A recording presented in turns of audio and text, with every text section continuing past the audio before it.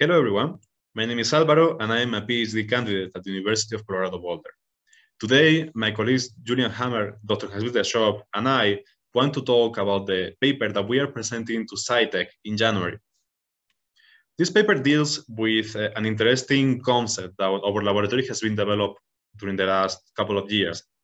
The idea is to measure the potential of a target object in GeoPlus orbits. And the interest of this relies in the fact that the electrostatic perturbations can have a significant effect in those orbits. And also that many new concepts, many interesting concepts related to space debris removal are based on generating a potential difference between a servicer and a target.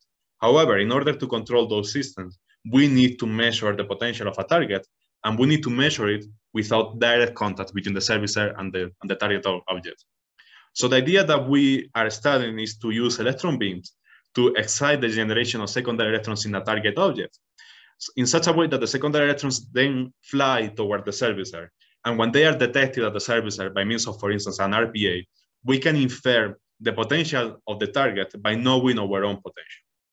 So the problem with this approach, or the challenge, better said, with this approach, is that uh, complex geometries like the ones uh, that we observe in a spacecraft present a highly inhomogeneous distribution of secondary electrons when they are irradiated. And the reason for that is simply that the electrostatic potential field narrows down the corridor where secondary electrons evolve to these very, um, very narrow uh, secondary electron regions. Or in other words, if you want to measure the secondary electrons that are coming out from a target surface, which are represented here with black lines, you will need to place your servicer in one of those regions where those black lines are more intense. Now the question is, where do we place the servicer, right? And until now, our laboratory has explored this question by means of flat plates. Flat plates is interpretation and experimental analysis, but are not representative of a target spacecraft. So there is a need to actually have developed a numerical simulation framework to study this and to see what is happening in those scenarios. In order to explore this problem, what we do is um, we have two, a, a two electrode system consisting on a panel electrode and a bus electrode.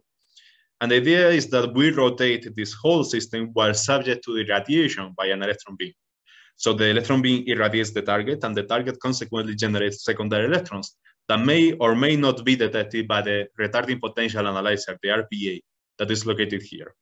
So the full goal of this paper is studying how the complex shape of this electrode assembly influences the detectability of the system using secondary electrons.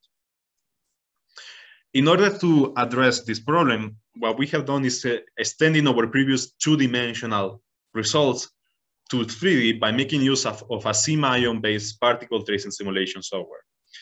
SIMION is a particle, uh, is a standard for ion optics uh, on Earth, but it turns out that it works very well also for our application because of several reasons that we, reasons that we describe in the paper. What we have needed to do is to extend the capabilities of SIMION by means of custom uh, Lua libraries. Uh, the, those Lua libraries essentially implement all the physical effects related to the uh, secondary electron modeling. However, even as, as important as, as this is the the effects that we are ignoring in the system. We're ignoring, for instance, the uh, effects of the magnetic field in the trajectory of the electrons.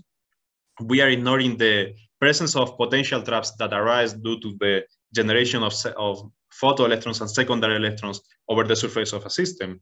And we do that simply because SIMION doesn't have a Poisson solver, or well, it does have a Poisson solver, but we are using the, the Laplace solver because using a Poisson solver that considers the space charge effects will be computationally expensive. And it is, as, as you will read in the paper, it is essentially not worth it. Finally, we are neglecting the temperature of the, the effects of temperature in the secondary electron yield that may be important for space applications. They are not so important for our system because they are negligible, but they may be important in space applications. However, their importance relies in the change of the secondary electron yield and thus they do not affect the geometrical detectability of the system, which is the main target of this work. As I said, further details on this modeling process can be found in the paper, and if you have any questions, please feel free to reach out anytime. So what we have done is essentially transferring the geometry of our baking chamber experiment to SIMION. And we also have devoted a big deal of effort to center uh, the, the electron beam that we use in the experiment and match with simulations of what we observe in the, in the baking chamber. And you can see, for instance, here, the secondary, sorry, the electron beam calibration process. This is very important because our system is small, small, and thus it is very, uh, very um, susceptible to geometrical inaccuracies. We also follow a strategy to avoid surface jags, which are inherent to the Cartesian mesh of SIMION, which is rotating the whole assembly while we keep the electrodes aligned with the electron source.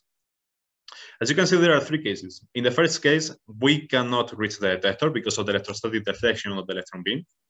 In the second case, we reach the sorry, we reach the target, not the detector. We reach the target, but the secondary electrons that come out from it are not detected by the RPA.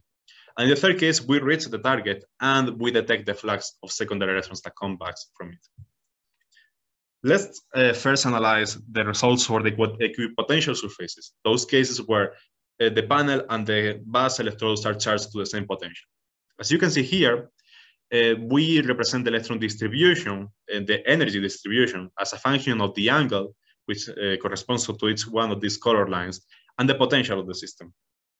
Uh, as you can see, uh, the detectability of the system is very well uh, recovered by the SIMION model, which means that we can actually simulate what is happening here, because uh, we actually see that only for 80 and 70 degrees, we can see any, so, sorry, something there.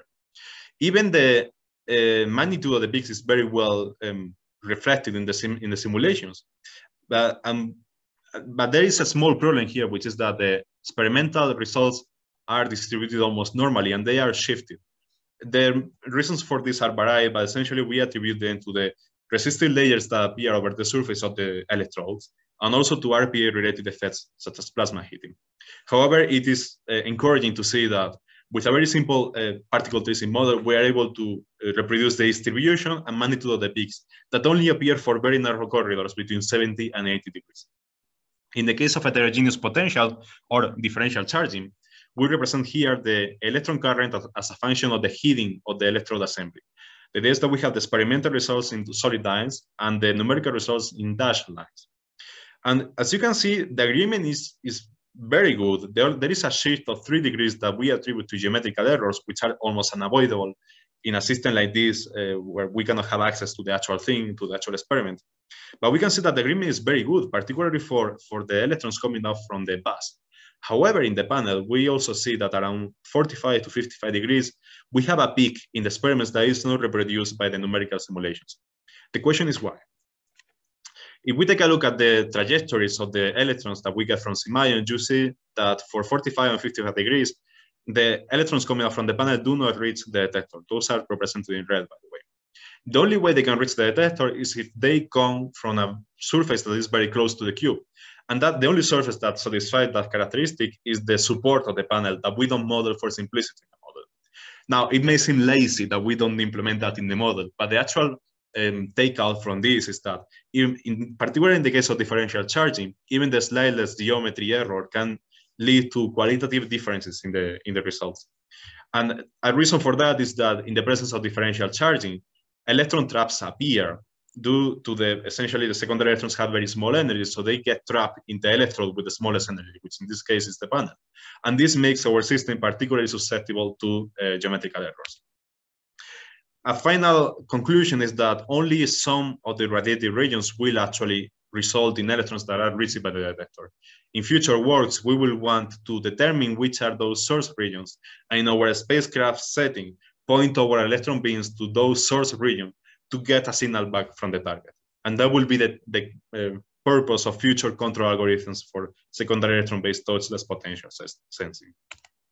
Conclusions, um, we need, uh, we want to use secondary electrons to measure the potential of a target, but the complex geometry and differential charging uh, complicate this process. And we need advanced numerical simulation frameworks to actually address this problem and understand very well what is happening with our system. However, we can see with experiments that we can actually measure that flux of secondary electrons that once it's detected can provide very accurate uh, measurements of the potential both in the homogeneous and heterogeneous charging scenarios we, I want to acknowledge the FOSR, La Caixa Foundation, and Rafael Del Pino for financing this investigation. And of course, also Dr. Kieran Wilson and Dr. Miles Bengtson, who were uh, a source of fruitful discussions. Finally, if you have any questions, please feel free to reach out at any of these links and, uh, and share your comments and suggestions with us. Thank you very much for your attention.